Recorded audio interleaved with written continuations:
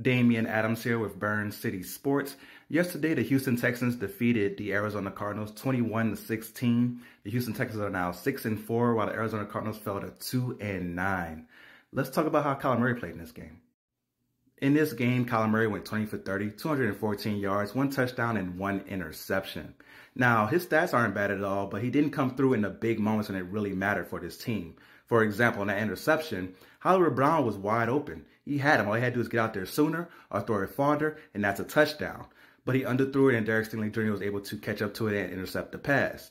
On one of those incompletions, it was on a big fourth down. Trey McBride's wide open going across the middle, and he throws a wobbly duck that goes into the ground the rust really showed for him in his big moments. There was another big moment in the game where the Texans blitzed and he didn't do the hot read on the right side. He went to the wrong side, got sacked. And that's going to be expected for a guy who's coming back for his second game in damn near a year. So you can't really expect too much from him, but I did expect him to play better against this Texans defense, which their passing defense wasn't highly ranked coming in. I even started Kyler Murray over Trevor Lawrence in one of my fantasy leagues, and Trevor Lawrence had his best game of the year.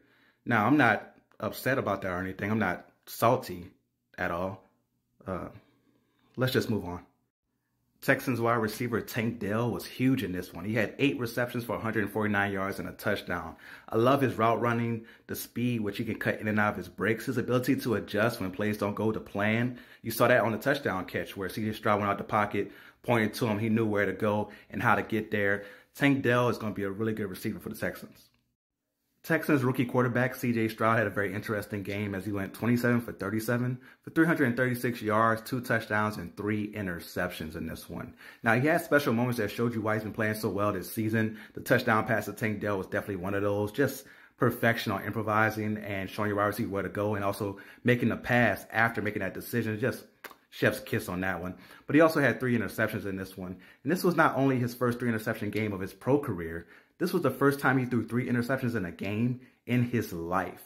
He didn't do it in college at Ohio State, didn't do it in high school. Unless there's some middle school footage that I'm unaware of, this was the first time he did this in his life. That's unbelievable. And talk about the consistency of taking care of the ball. Uh, CJ Stroud's potential is unlimited. Like this guy is going to be special as long as the Texans continue to take care of him with protection and good coaching. But he definitely can't make the mistakes he made in this game next week as they take on the Jacksonville Jaguars in a huge AFC South matchup. And the Arizona Cardinals take on the LA Rams, who are also struggling this year. So it's kind of a struggle bowl.